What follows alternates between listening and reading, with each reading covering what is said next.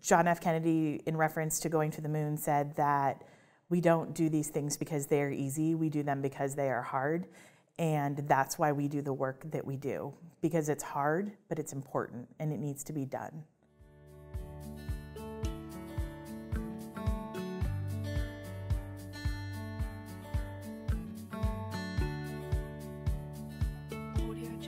You know, when our residents come here, you know, they're obviously focused on how many stainless steel crowns can you do, all these types of basic pediatric dentistry restorative techniques. And when they leave here, I think they have a greater appreciation of kind of what is my role as a pediatric dentist besides just restorative care? What is my role as an advocate in my community for those who are underserved? It's a very busy residency.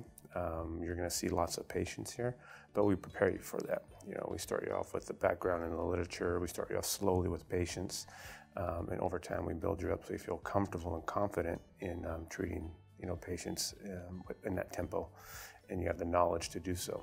I feel like when I leave here, there's going to be so much that's been poured into me by this close knit group of attendings.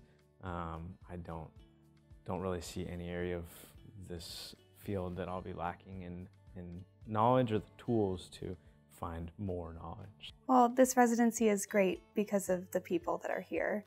We have the best attendings around, and our team works really well together between all the staff that make up farm workers and also the residents that work together.